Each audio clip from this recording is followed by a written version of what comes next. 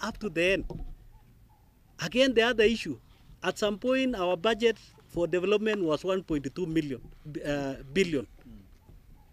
At the moment, we are just surviving on 813, the money that goes towards. So at the moment, we don't have any extra development money remaining in the county. Whereas we know very well that under the uh, Equitable Development Act, 40% of the money is supposed to remain at the county for county flagship projects. At the moment, it's zero. We are just uh, pushing to enable us to just maintain that 813. Otherwise, there was an idea that we should cut the development from 813 to maybe 600. But that one cannot happen now.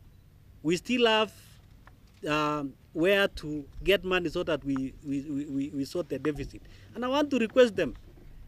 Some of us, we, if you look around, you will not see any vehicle for the governor. I went to Nairobi, my, my car broke down, and I had to use other means. Right now, I'm using a, a vehicle belonging to a CEC.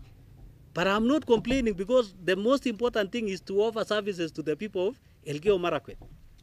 We are telling the county assembly, you can still write reports within the uh, county assembly uh, premises. You don't need to go to Kisumu, you don't need to go to Mombasa so that you can generate reports that will uh, uh, uh, ensure that Elgeyo Marakwet resources are well taken care of.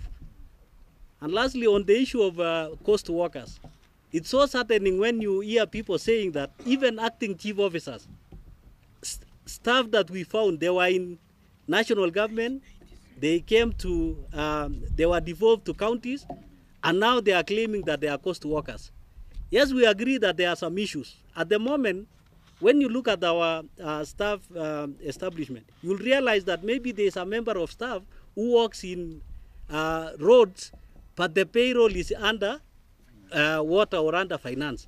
Those are small issues that we are telling the assembly. Before you produce such reports, can you invite the members of the county assembly, uh, the, the, the CECs, to appear in the committees so that they can explain this? Yes, I know that they invited the CECs, but they are not able to attend to that meeting because we are attending another important meeting with UNDP in Mombasa. Remember, for us now to even have a training outside the county, it has to come from donors. We don't have money in the budget to facilitate our staff for training, unlike other counties, what they are doing. So they should also uh, be considerate.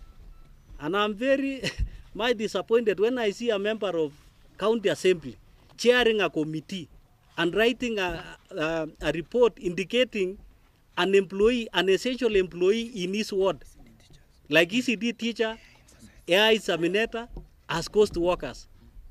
As member of county assembly, by now they should know because I know an average in every in every ward there are about 20 schools.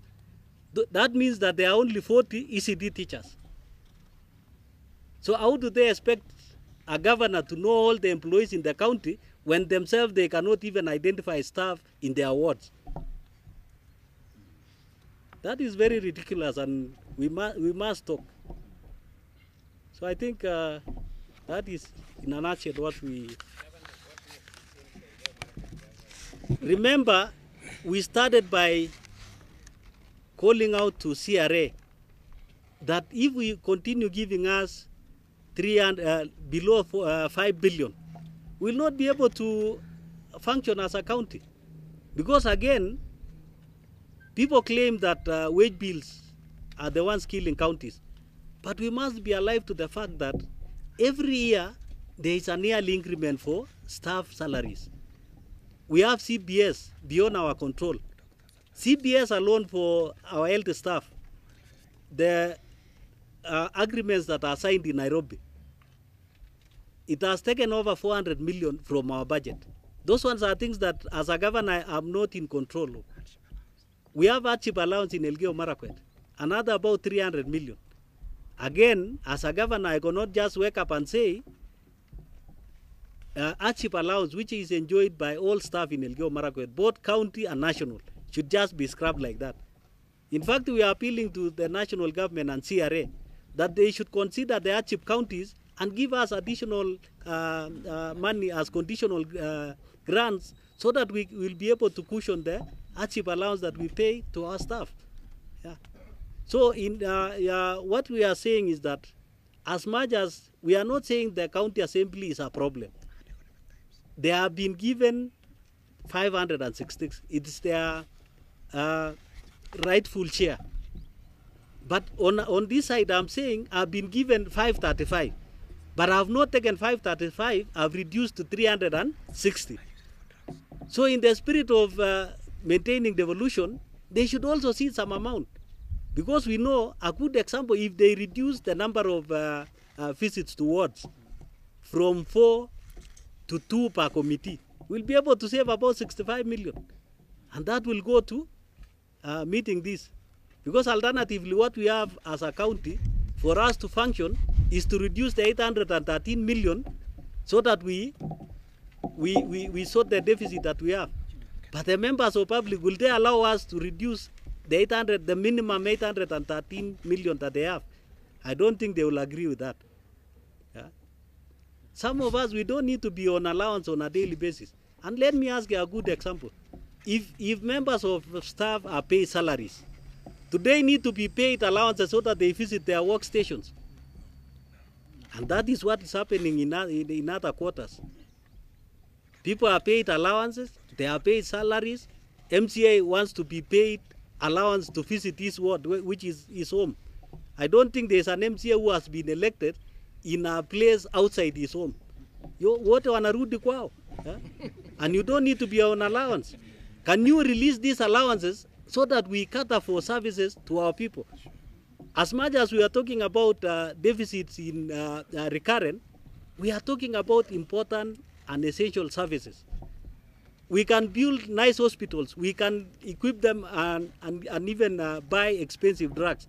But without the staff to offer these services, it will be useless. Now we are telling them, can they bring those ideas? Let them bring those ideas and tell us how this budget can balance. And I would request that when they are bringing the ideas, they return the ceiling for the executive to 535, put the uh, county assembly ceiling at 566, then tell us the remaining out it can be used without deficits and even having more development money than what we have at the moment. If that is lack of ideas, um, uh, my office is open. Let them come with the ideas. If, if, if, if they have other uh, ways of balancing this budget that we don't know, then we are ready to implement that. So long as development money for my people is not reduced. Your, it's